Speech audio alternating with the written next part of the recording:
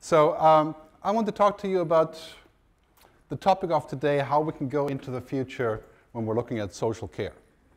Um, it's been really interesting as a futurist. I'll explain in a second what that means. Most of you probably don't know what that means. I, I didn't know what it meant until I became one.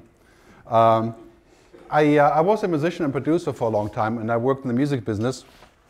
And I was lucky enough to meet uh, musicians like Miles Davis and others. As a musician, I had an interesting time, but when the internet came in the mid 90s, you all remember that period of Napster, when people were downloading music for free for the first time. Uh, I started working with the music companies about trying to define their future. And their response to the internet was basically, we don't want it. Because it changes how everything is being done. People can connect and do whatever they want to do and bypass authority in parentheses. So what happened over the uh, you know, 15 years after that, the record labels were suing people and trying to do away with uh, what people were doing on the web. And finally, about two or three years ago, it turns out that it's better to actually give people what they want and make a business out of it, which is what they're just starting to do. So um, I think it's really important that we consider all the changes that are happening around us on a broader scale. Right? Nothing is disconnected. So, for example, we clearly know that technology is interesting and cool and can solve lots of problems, but technology is not going to be the panacea for our problems. Uh, we can't invent away everything. So what I do as a futurist is kind of this. Uh, a futurist is somebody that's looking into the future and then works backwards. So for a lot of my clients that I work with, um, they have this habit of saying, okay, what I do today is very likely what I do tomorrow. Because the reality is we know that's, that's just not true. There's a great Chinese saying that says, if you want to know about the future, ask your children. And why do we ask our children? Well, because they're not busy making money. They're not busy running an organization. They like to play and experiment, and if something breaks down, they move on to the next thing. Okay? So this is very important that, that we don't actually look at what we have today and then extrapolate forward. But let's try in the next hour to zoom forward not 50 years or 10, just five, three to five years, and then work backwards and try to sort of touch the future. I mean, if you look at what people have thought about, you know, touching the future in the past, for example, this scene here from the 60s, a bunch of people sitting in a car that drives itself while they eat and play chess. We have that now. We have the Google self-driving car, which I drove myself, where you can sit down and, and have lunch while the car is driving. And this will be a reality in many countries and many cities in 10 years. Kind of hard to imagine here because you have huge distances, you need your own car to drive those distances, and you don't take a self-driving car to the bush. Right? But you will have it in Singapore and London and Beijing and Zurich and those kind of places. So it's important to remember actually what it means to look at the future. And my company, the Futures Agency, we're a global network of about 25 people who are sort of agents for the future. And our motto is, it wasn't raining when Noah built the ark. In other words, sometimes a change comes that we haven't foreseen and we're not ready, but many times we can actually see that it's going to start to rain. And uh, we work with many clients, technology companies, governments, uh, who are looking to sort of structure their own future. And by the way, of course, I have a lot of slides today, maybe a little bit overwhelming. So if, uh, if you want to go online later, just go to my website, futuristgerd.com. GERD is spelled like gastrointestinal reflux disease, right? G-E-R-D. That's very easy to remember. That's my first name, by the way. I'm, I'm thankfully not afflicted with that, but futuristgerd.com is where you find my slides and all my downloads, my free books, and everything. So, um, you may remember when, when the, uh, the new Pope was inaugurated last year, or this year rather, the scene from 2005 was is on the top, where people, of course, some had mobile phones, but mostly had cameras. In 2013, everyone in the audience had a mobile phone. Okay. That, that's only eight years. Okay. So the mobile phone has now become something that's just everywhere, and it's really changing how the way works, the world works. When I go to Brazil, uh, where I spend quite a bit of time now doing some teaching and also some projects. It's really amazing to see that people that have $5 more a month, the first thing they buy after food and shelter is a mobile phone. and how that changes their life. So this is really, of course, for people with disabilities and, and the elderly. I mean, this is a mind-boggling change, especially when you now can control the mobile phone without your hands. This is the next big thing. Kind of a scary thought, however, is if the mobile phone is moving from the devices into our head, which is what's going to happen as the next step. I'm not sure I like the idea, but I'll show you some slides that you can think about what that would mean. But uh, as I was preparing for this, a lot of people on the web were talking about how the uh, social care has sort of a virtual component to it. And of course, you know all the debates about robots that can take care of people or electronic pets, you know, that, that greet you at the door, which are very popular in Japan. But technology is apparently a huge opportunity for a lot of the things that are currently limiting uh, starting, for example, with the exoskeleton that comes from the military that allows quadriplegics to walk, using their mind as a control. The machine costs like you know $500,000, so it's more experimental at this stage. Uh, it's a very good report here. If you want to Google for this, uh, the virtual future of social care will give you some good ideas. Okay, let's go back to the top for a second. I mean, clearly, you know that we're becoming sort of, I call this a digital society. Uh, so the internet becomes essentially like water or electricity. In many ways, you could probably say in many countries now, it has become a civil right to connect to the internet. In fact, in Finland, you can sue the government if you can't connect. So it becomes like water or like electricity, which is good and bad. I'm not saying it's all good. You know, we know about internet addiction, for example, and, and the obsession with mobile devices while you have dinner. So However, becoming a digital society means that by 2020 we're looking at roughly 8 billion people. And population growth will eventually top out maybe at 9 or 10 billion, which is already probably way too many. We in Europe are not heavily contributing to that. Most uh, European countries are actually declining population. But 60% uh, of those people will be connected to the internet. So we're talking about roughly in the neighborhood of 5 billion people. So what happens when 5 billion people, you know, Chinese people, Indians, Africans, Brazilians, can connect to the internet? There's a huge flood of things, even more than we have now, coming towards us. Intelligence, research, studies. The big pharmaceutical companies that make medicine, they have now resorted to publishing their information into public domain so that they can find researchers and students helping them to solve huge problems that they weren't able to solve before, called crowdsourcing. This is a major trend that we're seeing on a global scale. It's also interesting to see what happens with equality. As, as I'm sure you're aware of, you know, there's a huge debate in, in all countries about what that means to have an equal opportunity. But Australia is not doing so bad here on this list, a little bit hard to see. Uh, the, uh, the Nordic countries, of course, are always doing very well.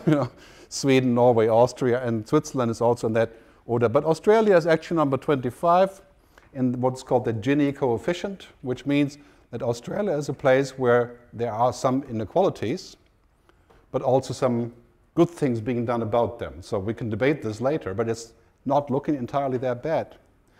But about the internet, you know, basically what we're seeing here is that I think it's becoming really important that everyone is connected. The elderly, the disadvantaged, those that can't afford it, it's just like having energy or water, access to that.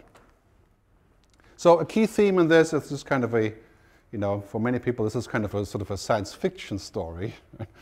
when, you're, when you're looking at the uh, likes of The Matrix or Total Recall or all those kind of movies that you know, this is a key theme for our future now is how do humans interface with machines and vice versa. I mean, in, a, in an interesting way, we already have this every single day because the mobile phone is a machine that is essentially our second brain. We're connected to it all the time, so if we have an argument about what to do, we look it up on the mobile phone. And we have an argument about what, what medication to take, we look it up while we're waiting for the doctor. So this is basically what we're using here is artificial intelligence. Google is artificial intelligence. What did we do before the age of Google? How did we find out about things? So this is rapidly changing the way that we look at everything. our problems, our relationships, our banks, our providers, our governments. Last year, there were 56 laws overturned because of Facebook action. Overturned or not even started. So today, if there's an issue, it always ends up being somewhere on the web in many different ways. For example, there was a law in America called SOPA, which had to do with online rights. That was overturned through Facebook and other social media in one week. So a lot of activity is moving in this direction of using those kind of technical relationships. But of course, here's a question of, the, of balance. You know, you could argue, of course, now in the last couple of months, we've heard about what American law enforcement is doing with our data, you know, the NSA and the PRISM affair and Snowden, and making us feel, you know, surveillance. Australia is, of course, part of that as well. so the question, however, is not whether we're going to do this or not. This will be a difficult question. The red pill, the blue pill, you know, or what is it, the green pill on the matrix? The question is really a question of balance. If we were not to use technology, we'd have to move to Amish country. You know, we would have to detach ourselves completely. Every mobile phone that we carry broadcasts our presence in the cell that it operates in. Here in Australia, all of your license plates are scanned by the police. And they're not throwing those photographs away. They're keeping them for five years. I just read about the other day. So what are you going to do? Not drive? Not have a license plate? Um, you know, it's a question of balance. So when we talk about technology and human and machines, it's really a question of balance and ultimately a question of ethics. So I'll talk more about that in a second, but these devices are now already our external brains. And for people who are not fully able, this is a huge step forward. As we know, of course, my mother, you know, she's 77. When I gave her an iPad, she thinks it's the television. Because she doesn't know it's a computer or it needs whatever the internet is, you know. She just hits it with, uh, you know, as long as the power is plugged in, she hits it with a finger and it, it shows her her television apps, you know, just select what she wants. So technology has become so simple and so unobtrusive that almost everyone can use it, especially now that you can gesture or you can speak. And of course, you know the next big thing is language translation, which already works really well in the labs. You know, I've tried it in the Google Labs myself. You speak in German, comes out in Chinese if you want, in real time. This kind of science fiction stuff is, of course, crucial if you're going to take care of people who don't speak a language very well, that you can use these tools. On the other hand, you could argue, will our kids ever learn languages again if, if they can use this? Like they use a calculator rather than you know, doing math in their head. But anyway, this is happening. These are becoming our internal brains, our external brains. So how are we going to respond to this? Where are we going with this? And what are the benefits? Of course, here we're facing this problem of unintended consequences. For a disabled person to be able to speak into a box and pull up a TV show uh, or move something around by thinking is fantastic and it's a huge thing. But for some, for a kid that's just plain lazy, using the same process is unintended, really. So, should they be learning a language just because they can?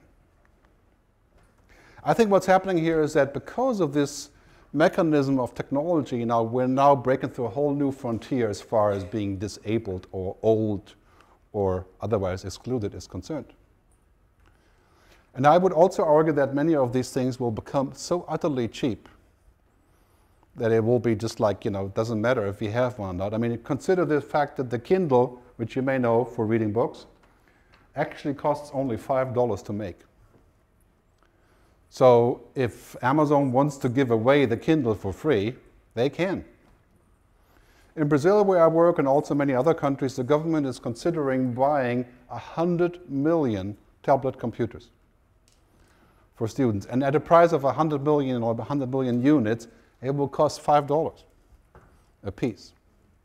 And then the students can learn using a mobile device.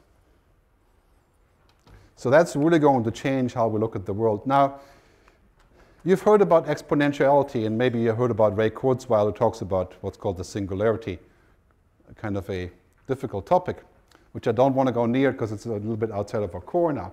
But what's happening with, with technology is that technology is growing exponential. Moore's law says that every 18 months, technology gets twice as powerful. And that's been going on since the 1920s. So what we have today is that technology is exploding and it's rapidly getting so fast that many of us are mind boggled with the possibilities. So being able to speak into a machine and pulling up a map, right, or finding out where the nearest Starbucks is, is quite normal now for a lot of us. But it's exponential technology, and we're really here, we're sort of here at the takeoff point. And Australia today is right before the point to where we're counting one, two, four, eight, not one, two, three, four, five, and so the next step is 8 or 16, it's not 5. This is, of course, very hopeful for people with, with disabilities or people who are not otherwise equipped to participate. Because what it does, of course, it frees up a huge amount of resources. And at the same time, it frees up a huge amount of responsibility of us dealing with our people that we take care of, for example. How do we do this? So, of course, I'll give you a couple examples. And again, when you download the PDF, you can go through it uh, one by one. But how will technology change the lives of people? For example, you know, having information. Now you can, you can get an iPad app where you can see your entire body in every variation and you can take a look at what's wrong. And you can actually see it like a doctor would see it. And you can drill into your muscle. Right? You can look at all of the issues. You can really get inside of this. And this makes you feel like you're a lot more involved. You have a lot more power over your destiny. Websites where people meet each other, patients like me, where you can come together and talk about the problems that you're having and build an online community. Mobile apps that help you with your health. For example, this is a device that helps you measure your eyesight with a mobile phone. I mean, this is changing the way that people interact with things. Sensors that are based on your skin, where you can monitor things using the mobile phone to measure medication. Find out if people have taken their pills or not, or, what, or find out what's in the pill for that matter. Sleep analysis. We used to have to go in the hospital for two weeks.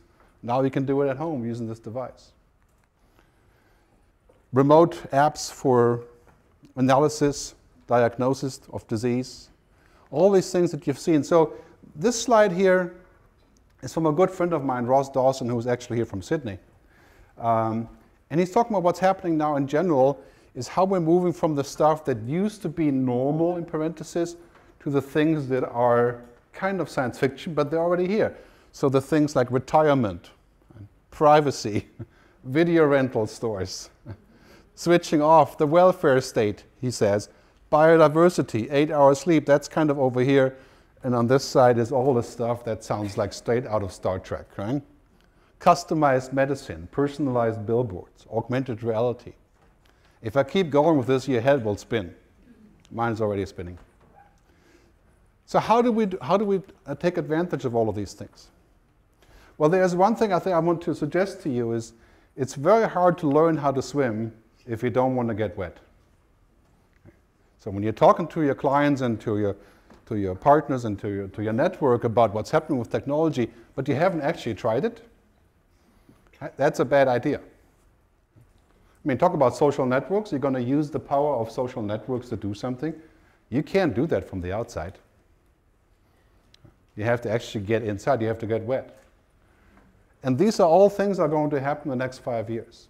So I think if you're in social care, it's a good idea to investigate these technologies and these new things that are happening. Because one thing is for sure, what we're seeing here is not just a change, it's transformation. There's a substantial difference in change and transformation. Change means you're doing something and you, you're amending it to fit a new situation. Transformation means you're getting out to be somebody else in the end. And that's really what we're talking about here. When pe people use technology, it doesn't just change that they can do something faster. It changes the culture around it. It changes authority.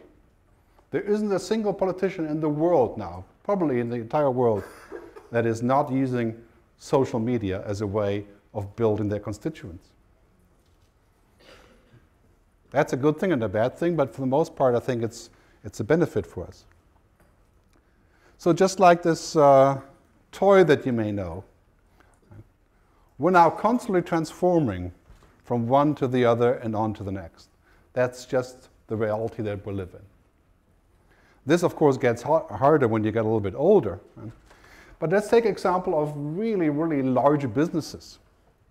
For example, one of my clients, a big car company, they're finding out that the idea of having a car as a, as a, uh, as a, uh, a symbol of status, know, something that you want to have fun with, is declining. In fact, in most countries, kids aren't getting driving licenses. For the first time ever in America, the last five years, every year, less kids are getting their driver's licenses. And why is that? Because they're interested in technology. they live in a big city where they can't drive. There's no room. They have no intent, like we do, to liberate themselves by driving around. So what car companies now have to do is they have to transform. They know we're going to have electric cars, we already do. We're going to have self-driving cars. We're going to have public cars. The biggest trend in cars is not to have one. Okay? That may not be true for this country quite yet because of the size of it and, of course, the culture. But in Switzerland, where I live, you'll find that people have cars, but they don't use them. Because in Switzerland, you know, our train system is and it's a small country. You know, we have four hours to go through the country. That's like going over the bridge here. But, uh, you know, we're, you know, it's a small place. But what people do in Switzerland is like when you go to a meeting, if you take the car, you're considered an outcast. Because it's not social. You're not responsible to take your car. Because you can, you know, the train works well. So what car companies now have to think about, how are they going to get into a world 10 years from now where people have less private cars, very likely. They have public cars, like there's cities looking at buying 50,000 self-driving cars owned by the city that you can subscribe to with an app. Imagine what this would do for disabled people. I mean, on demand, probably free. Sponsored by Barclays, or what, you know, like the bikes that you see in London. Where you can hit a button and the car will turn up with a wheelchair ramp where you can drive on and just roll into it and will drive itself. So Transformation. Let's talk a little bit about what that means for politics and for culture. You know, the, the definition of what a happy country is is a very interesting discussion in this context. And what does happiness actually mean? This just came out, it's called the World Happiness Report. I have no idea, you know, why Switzerland, for example, where I live is number three. People in Switzerland would argue that's not true. But again, the Nordic countries win the prize here. But you know, you see in this list here, Australia is number 10. Congratulations. You're number 10 in the happiness. Did you know this? I, do you feel happy now? Must be the sun or, or the rain and you know, the absence of rain for any other day than now, that is, of course. So, and it's composed of several things. This is the interesting part. It's not, happiness does not mean you make money. That's just one of the components, one of the five. It has to do with diversity, with social support, with uh, a way of having your opinion heard, and so on and so on. When you download this, you can take a look at this, but GDP, gross domestic product, money, is just one of the factors. And this is an interesting debate, of course. How do we actually get to have a country that's happy? And I went back to uh, 1968 where John F. Kennedy already said that gross national product says it measures everything in short except that what makes life worthwhile. And that was so true then, and of course even more true today. The definition of what makes life worthwhile is not just related to how much money is being made. So I want to propose a, a definition that is quite common now around the world is being discussed as gross, na gross national happiness. Uh, and the state of Bhutan that you may be aware of has promoted this on a global level. So can we define something like I would probably say in a more general way, gross national well-being. You know, I think it's a better definition. Can we define that as a goal, and what does it mean? Because I think that's what we're ultimately heading towards. Whoops. So I'm working on a new book, and it's called From Ego to Eco. And while I was preparing for this uh, session, um, I googled around a bit more, and I found this graph by somebody. I didn't actually make this, so it's the typical, you know, internet borrowing that went on here. But the future of what we're looking at is a complete morphing over from this idea of a top-down pyramid to sort of a biosphere. I, I, don't mean in the sense of ecology. I mean in the sense of organizational. And I know here in this country the government is forcing you to compete with each other now because of these new reforms. But in the end, what we're seeing on a global level is that we're all moving to acting as ecosystems, interconnected systems.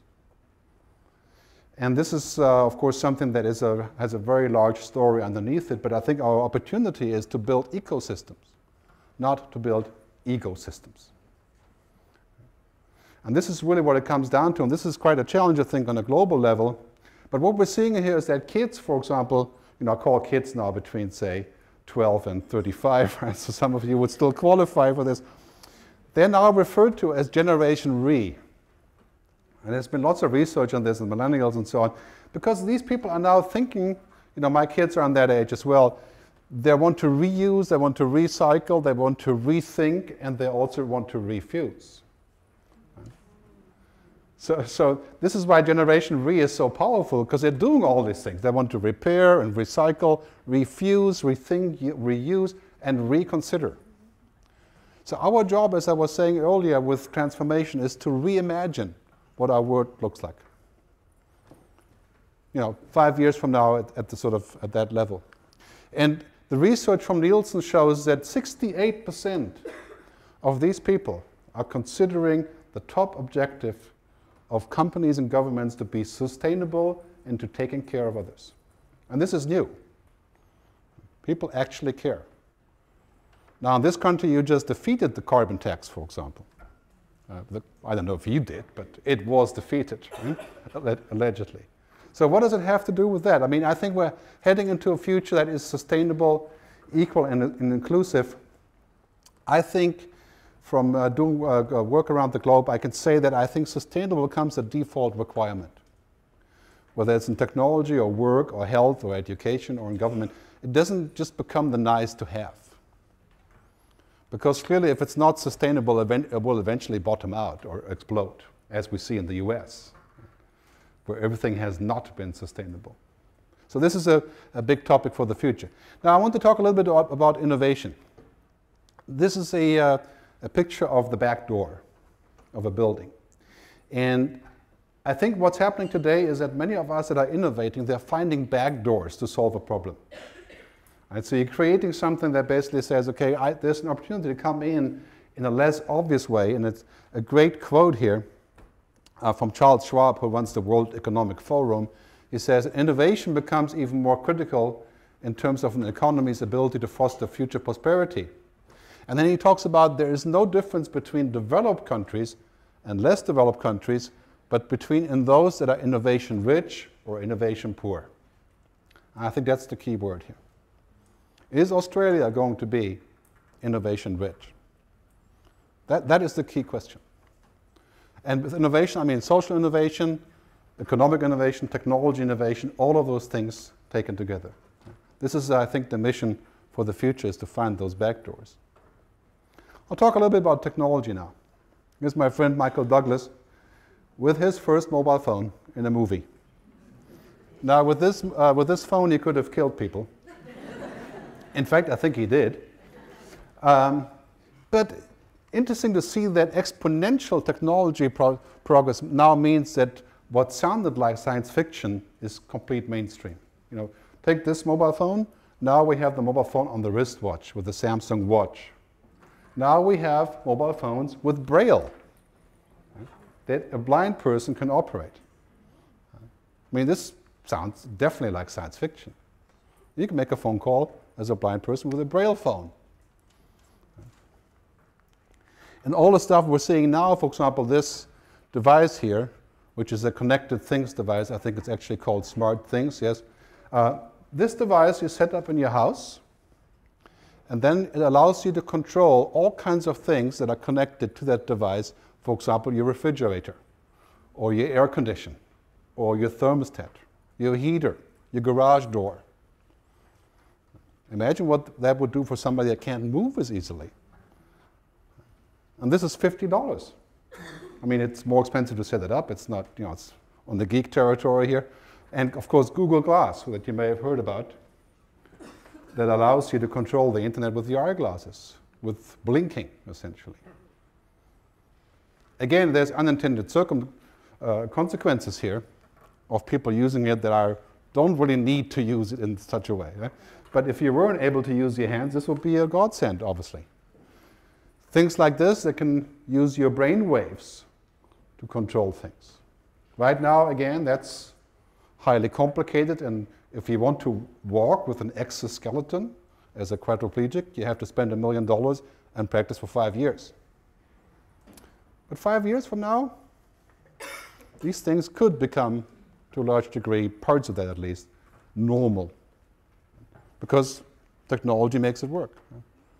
Robots that take care of people, as scary as a thought may be, Watch the movie Frank and Robot if you have seen it. Or I think it's actually called Robot and Frank. gives you a glimpse of what's going to happen there. So, what do we do about this? I think we're going to see massive physical and behavioral mobility revolution for the disabled, the excluded, and the elderly. For example, the public car here. You can call with the flick of your app. The wheelchair that can climb chairs, uh, stairs that's available as a public utility. That is really changing things. I mean, if you're looking, for example, what's happening now with communications, being able to talk to elderly people remotely through Skype. I mean, lots of people are doing that already. But this is becoming a standard, you know, basically helping us, for example, finding things through browsing without typing, but just speaking. That alone, two years ago, didn't really work. Today, Anybody in this room can try it.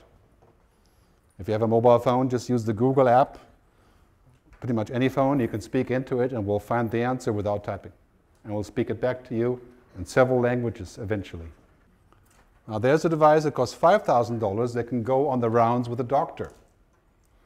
That wheels along in a little wheelchair, wirelessly connected to supply information to the doctor. How long is it going to be before these devices are $2,000? And what are we going to do about it? I'll leave that for you to discuss. But are you ready for electronic teammates? I know it sounds funny. It's, like saying, Are you ready for a mobile phone? You know, it's like, Yes. You know, it actually works. This is the backstory here on the left.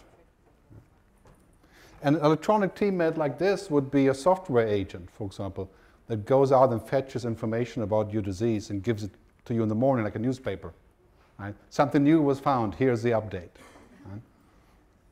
And this is already happening today. We're moving into a world where everything becomes intelligent. That may actually make us stupid, we'll discuss that later. But now we have a world where everything in the house will be connected because it can. Right? Motion sensors, security, door control, environmental controls, intelligent objects. I have a, a band um, called, I think it's called the, the Fluid from Nike, okay, that measures how many steps I walk, how much I sleep. I don't use it anymore because I'll tell you later why. But it actually gives me feedback on what I'm doing. And it gives me warnings about whether I'm doing too little of this and too little, too much of that. So the question is, do we need this? And I think that in many cases, if you're looking at elderly or disabled people, this would be clearly a benefit to have. How will we pay for it? Another question. Of course, now we have this trend that's called the qualified, the quantified self. That is uh, a trend that basically says that as we're monitoring ourselves, we can change our behavior so that we're better off. This is called the Scanadu. And this device will be $100. and it will also have a, a blood pricking part to it so that you can not go to the clinic if you can't to send that data to whoever you want to send it to. These devices are very likely to eventually be free for several reasons because they save budgets, they can be mass produced, they're not that hard to make, they're like a Kindle in the end. So how will that change the relationship of, you know, between taking care and those that take care of you? Eventually, of course, this is good news and bad news, quite a few jobs will disappear because of automation and smart machines. I have positive news too. Right? But clearly, you know, if we're looking at a world to where the taxis are self-driving, that's losing 27 million cab drivers. You know, if they all had to leave for that. Not that we would really miss them, just maybe some of them. The self-checkout at the grocery store, 40 million people. 3D printing, where you can print coffee cups and those kind of things on demand, like you print now with a Xerox machine. Healthcare robots. So there are some other futurists predicting we're going to lose 1 billion jobs in the next 20 years. That's one third of the global workforce because of automation. Here's a good part, of course, big but. All these things are going to happen, and, and clearly, if you're in the financial business, for example, where you're analyzing data to buy and sell stocks, software can do that. I mean, this is a data analysis job. Right? Or, for example, take an iPad. You know, an iPad is being constructed by 323 people that have to put hands on the iPad to actually make it. And this is why they're in China or wherever they're going to go next, wherever it's cheapest. Right? So when robots can take over that job, it'll be only 20 people who have to touch it. But clearly what we're going to see is that we're going to have a massively increased importance of human-only skills. Okay? And there are things like negotiation, creativity, imagination, intuition. All these things that machines will have a hard time with for quite some time, and of course the human contact between people. So very likely we're going to see a combination of these kind of devices and the human ingenuity. But the question, of course, is what will eventually happen with our own skills? Will we have the skills to control the machines, or will they get better and better and cheaper and cheaper? I think in general this is a positive trend, but it does release, of course, the ones that have simple manual jobs like cab drivers. So you can see on this chart the global shifts and where the jobs go. Luckily, all of you here on the green pyramid. Uh, down here is, of course, I don't agree with restaurants, by the way. I don't know why it's down there. But banking, construction, automotive, you know, that's the shrinking part of the, of the job economy. And up here, hospital, healthcare, health, wellness, fitness, you know, this whole green sector is growing. So while the manual jobs, including, for example, lifting patients, or transportation may eventually go away, there is new jobs coming up that have to do with running the whole ecosystem that surrounds care. But it's something to be, to be prepared about. I think ultimately we can't compete with machines that do a good job on this. But this is one thing we have to think about is that what I call machine thinking. Okay. Is the thinking that we can invent a machine that will take care of another machine that takes care of a third machine and so on and so on, so that in the end we have a system of algorithms and machines. That certainly wouldn't be what you want for care, I don't think. So machine thinking is a real trap because obviously it makes money to make those machines, right? to create machines that actually do this. Anyway, so let's take one step further. You know that everything that we're doing, whether it's our music, Spotify and others, or Netflix with movies, I don't you have Netflix here? No, you don't have Netflix here. It's a movie subscription service. Uh, or, of course, cable and other things, and books with Kindle. Everything is moving into the cloud. The cloud meaning that technology is up there somewhere that we connect to. And this is inevitable because basically what happens, you know, as you are scanned with your license plate, as you use the mobile phone, as you use a coupon to go shopping and so on and so on, all of our information is moving into the cloud.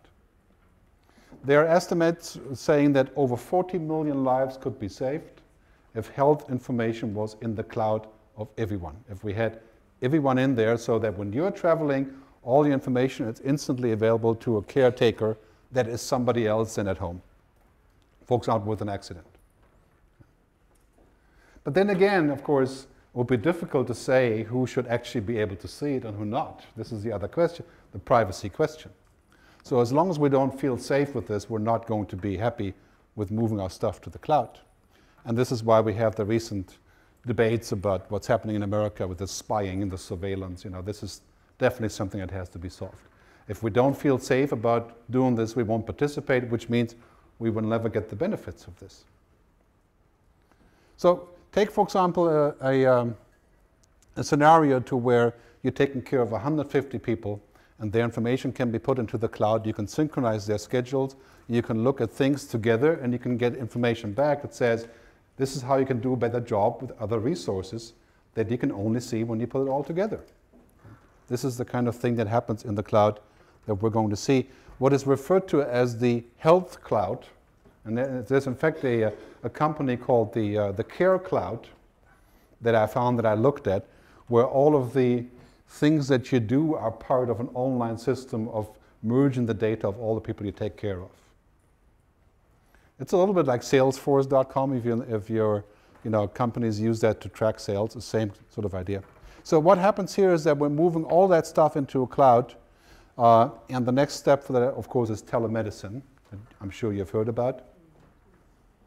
We're going to see dramatic increases here, together with those devices that I can use myself.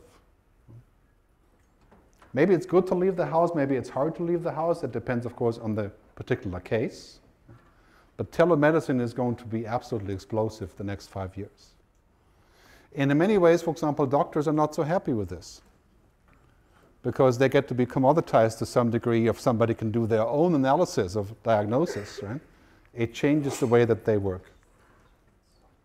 Take a scenario like this, to where my grandmother is monitored by an online system that submits data back to some intelligent system to where I can monitor if there's an alert or not, or if it's real or not, or what her state of health is.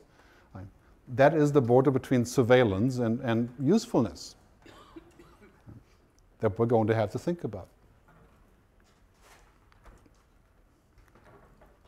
So we're going to face serious role changes, and I think this is very positive. I think what we do or what you do in this business will change dramatically. Your role will change dramatically, probably expand. So the doctor becomes, in a way, a different kind of job. What you do with this and how you take care of people. And of course, you could do this without being a doctor. In fact, in Switzerland, where I live, we have an initiative that says about 80% of what a doctor currently does could be done by qualified nurses and dramatically reduce the cost. Of course, doctors don't really like that idea very much, but in Switzerland it's interesting to see that the response of doctors was, maybe I'll only work part-time then, was their response. We have this debate in Switzerland, there's a public vote coming up on this. Because when you use technology, you know, qualified people can do the same thing to a very large degree. And talk about cost savings, right? I mean, this is, uh, of course, a question of uh, a lot of debate. But I think getting people connected is where it all starts. And I found this really interesting uh, chart here saying that the indigenous communities here in, in, Australia, compared to the others, are not faring very well here. On the left is the indigenous population, and on the right is the rest of the Australian population. Right? Of course, that's not news to you, but you know, I found it interesting to see that uh, the connectivity here really lags behind. So I think if we were to connect everyone, in a way it should become something that is a civil right to be able to connect. Because when you're not connected, you're missing out on a whole bunch of interesting things that could really change your life, including, of course, all of those tools becoming available. So that's kind of the thing that we're seeing here is also this dramatic empowerment of what I call the people formerly known as consumers. I mean, just go to the website in the US called ratemds.com, where you can rate your doctor, like you rate a hotel on TripAdvisor. Okay. Now the doctors have said this is actually quite interesting because I can see what the other guys are doing, and I can see that I'm doing a better job. It gives me motivation, just like the hotels. But you know, in, in, uh, in Europe, we don't do that. I mean, we, we would never rate our doctor. It's just not done. But now we have this empowerment because of this. Imagine if you're in the market to buy care. What are you going to ask for? It's not just about the money and the value, it's about what do other people say? The social connectivity. Who's recommending it? What is the tracking, track record? What is the connectivity? What are they saying about you? So it's really quite obvious now that broadband mobile internet access really is like water or electricity, and it should be. And I think the government, I think they are working on this, of course, right? allegedly. Um, but in Europe, you know, the European Commissioner said this eight years ago. Neelie Kroes said fast broadband is digital oxygen. Because right? we, we know, of course, this is not entirely without self-purpose, right? Because clearly 10% uh, of broadband means 1% growth of GDP. And, and all the countries, of course, are always worried about GDP, so they want to grow. But in Finland, you know, you can sue the government if you can't get online. So maybe one of your initiatives for what you do should be to get people connected so they can actually connect to you. I mean, an interesting uh, scenario that we're seeing unfold in the medical field and health, where I do some work in the US, the Mayo Clinic, which is the biggest uh, uh, cancer and other uh, big, um, big uh, diseases clinic in the US, they actually give their patients an iPad with the application on it that you take home. So you can communicate with your doctors and you can look at your own x-rays. And you can ask questions and you can talk to others if you want about, you can create a network with this device. It's owned by them. So it won't be long before here you can give your client a mobile device that has all the information that how you can connect and how you use it. And this is a device that you don't have to be an expert to use. You can speak to it. So access is really crucial. So in terms of the arc, you know, and, and the rain, you know, what we're seeing here is something to get ready for in this interesting graph here is what happened with computing is that we're moving from this idea of uh, typing typing stuff in and talking to the computer, and now blinking using Google Glass into thinking and connecting to the internet. That will be a scary day. And there we're facing, of course, the issues who should pay for this, who should be able to have it, and who, sh who should not, and so on. These are large issues, just like there are issues today about who should be able to, to get a free ride to the hospital or not. Same concept. So that is a trend that we have to watch. I think the, big, the biggest challenge here Again, because I'm not a technologist, you know, I'm actually outside of technology in the most cases. It's really about ethics. So once technology really rocks and we can all do all these, uh, these things and we have the budget for it and we're all connected, it's really about ethics. This is something we should be thinking about. Who should have it? How should it be paid for? Should it be a utility? Uh, should the public electric car be free? These are all topics that we have to face in the next few years. And Peter Drucker, who's a management guru, said the greatest danger in times of turbulence is not the turbulence itself, but to act with yesterday's logic. Okay. Now, of course, it's unavoidable to act with yesterday's logic because that's all we know. But as an exercise, you know, can we sometimes try, and I recommend for a lot of my clients to do this three to five percent of their working day to step outside of what you're doing today to actually think about what is tomorrow's logic. And in many ways, we're already seeing that form in what tomorrow's logic is. For example, we see here clearly yesterday's logic, great example, of course, is the fossil fuel industry. I mean, yes, we all want to drive, and we all want our homes to be nice and warm in the winter. But yesterday's thinking is to essentially do whatever it takes. Tomorrow's thinking is what, uh, for example, here the CEO of Unilever says, is in order to live with the natural limits of the planet, we have to decouple growth from the environmental impact. We can't just grow and grow and grow no matter what happens on the other end.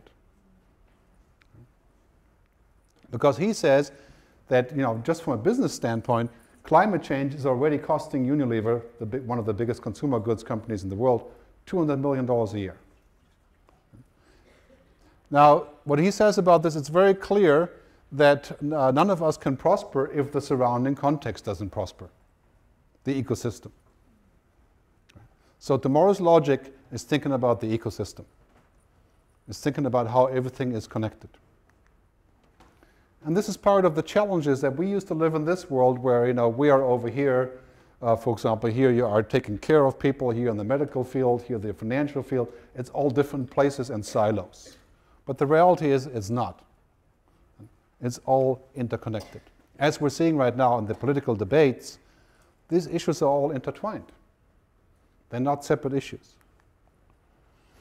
And this is also where leadership comes in. And I would encourage you to investigate this. I mean, you have good leadership here, I can, I can see that. But now leadership does not mean creating more leaders, more followers. It means creating other leaders.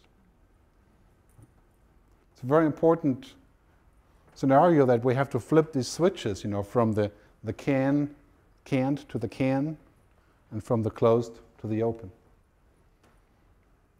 And I think we're seeing this on a global scale as, as a development. I call this hyper collaboration. For example, uh, in the US, you just saw about nine months ago that UPS and the US Post Service, the biggest rivals in history of American postal distribution, they've teamed up actually create a new service because they were both dying. I mean, everybody knows the US Postal Service has been dying for a long time, but now they finally figured out how to create something like this global brain. Hyper collaboration. We discussed uh, yesterday morning in the breakfast group this topic of hyper uh, collaboration. Really, what it means is that when you meet somebody the next time and they're in a similar place than you are, don't think about how you're competing, but how you can collaborate to create something larger. So having an open market doesn't mean we're based on competition, it means we're based on collaboration. This is a very important point. It's just not just because the government wants you to compete and make it cheaper and more efficient doesn't mean you're always competing. It means you always should be collaborating to achieve that goal. I think this is something we're going to see. So I want to talk to you a little bit about marketing because I think it's important for you to uh, understand when you're moving into offering your care services. This may be an interesting angle for you. What we're seeing right now is that we're moving in this idea of selling services. Right?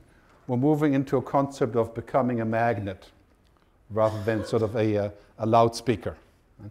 So we're creating interesting things that people are interested in, and this is why they buy it from us. Here's an example. Uh, what people refer to as SOLOMO, social local mobile, uh, social networks, local services, and mobile devices. That's referred to as SOLOMO. So if you're running a care service, this is how you reach people now, through social networks, not just Facebook, but also others, uh, through local services and through mobile devices. For example, take a simple question. If I use your website on my mobile phone when I'm looking for somebody to take care of my mother. When I come to your website, what do I see? 95% of the time, I see a website that doesn't fit on the mobile. It's not mobile optimized. So guess when I'm only on the mobile, which is now 50% of the time Australians are on the mobile when they're searching, I go somewhere else. And it's actually really free. Most of the time it's free or very simple to make a mobile version of your website. Doesn't cost much. So that's, that's a really important step, I think, going forward. Think mobile first. I mean, not, not in the sense of how people are using it, but in terms of how you're being found. There are estimates saying that in the next five years, 85% of all internet traffic will be on mobile devices. People actually looking at your stuff on mobiles. YouTube. If you're in the care business, what's better than a video? Showing what you do and how you do it. And of course, it's also free. This point here is a, a really great book written by a friend of mine, Rohit Bhargava, called Likeonomics. It's talking about how you do business because people like what you do and how you do it. And they talk about it. And it's really not new, but now because of the web, you know, we have substantial amount of change there. So that's just a couple uh, tips here on marketing if you, if you find it interesting. I think mobilization is a huge opportunity. Whatever you do, it should be mobile. For example, if you're looking what happens here, is that on a very simple smartphone, you can create a web page that allows people to actually use your service when they're on the go. So they don't have to look like this, you know, when they're, when they're trying to look at what you do. Huge opportunity. So give you a short summary and then we'll take some questions and we'll have hopefully have a debate. Okay. Point one. I think getting everyone connected is crucial. And not just technology wise, of course, also to the actual networks that use technology. I would suggest, as I have many times in other places, is to make the internet free for the disabled, the disadvantaged, the excluded, and the elderly. And again, I'm not saying that's just because the internet is so fantastic and we can solve all these things because they're on the internet. Clearly not. But it's always better to be connected than to not be connected, with the exception of the Facebook addict that wakes up at 4 in the morning. So I think here this is, a, this is a very good first step to think about as an agenda and makes commercial sense also. So point number two, everything that can be connected will be. Our homes, our cars, our database, our health records. This is referred to as the Internet of Everything. Very scary thought when it's not secure and not private. But nevertheless inevitable like you know the railroad replaced the horses. And the horseshoe makers weren't happy about that. But we have to figure out what we do about this. I mean this is, this is something that's definitely happening. I mean you can already see the city of los angeles uh, three weeks ago uh, put about 6700 traffic lights on the network on the internet together to synchronize the traffic in the morning and the evening remotely but of course, what they had to do for this is that every single one of those traffic lights has a camera. And every single one is connected to a network. So now you can use 6,700 cameras to basically supervise what people do. That's the un unintended consequence, right? So what do we do about this? I think that when everything is connected, we have enormous benefits. For example, getting data from our patients. They're allowing you to see what they're doing and how they're doing if they're taking their pills or not. That's, that's a benefit, right? So that's something to think about. Now, as technology becomes ubiquitous, which is the next five years, and we're always thinking it takes longer, but it's absolutely mind-boggling the speed. As technology becomes ubiquitous, for example, uh, mo mobile devices dropping down in the neighborhood of $20. If you go to India, you can buy an Akash tablet, an Android tablet, for $31 works just fine. It's not an iPad, okay, but it works fine. We're going to see tablets for $20. So when that happens, fast and cheap, it will be all about ethics. And you have to be prepared for that. It's actually not about inventing more cool technology, which people do anyway, but it's thinking about what you can do with these devices and how you can use technology to help your, your clients, people that you take care of, and yourself, of course. The societal changes brought on by this are exponential. You can't wait. I live in Switzerland where the main uh, sort of motto of people as how do they do business is they wait and observe. This is what we do. We're never first.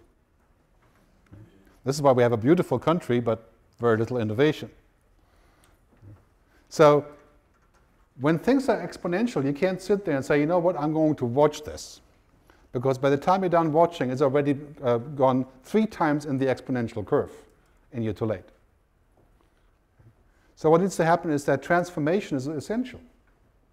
I think Australia should become, or needs to become, innovation rich, not money rich, and ethics rich. Because that's, that's the true value, of course, of a society, and to become sustainable.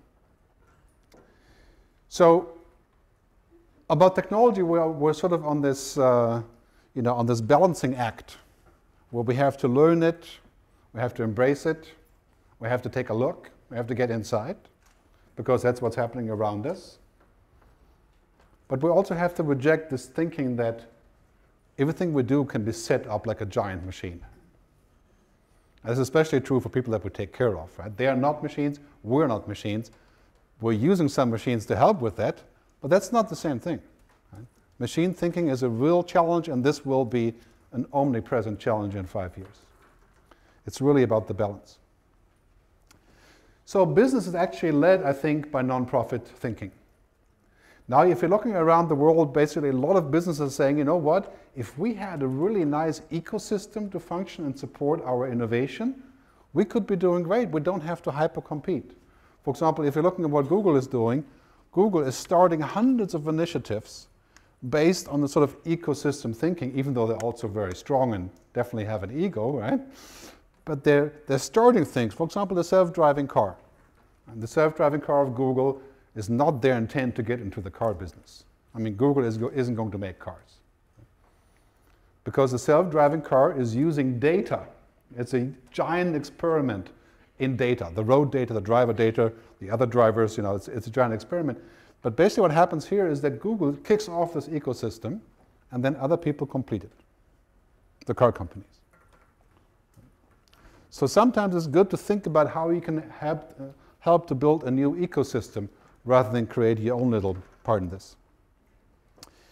And I think the definition of what I call gross national well-being could be useful here.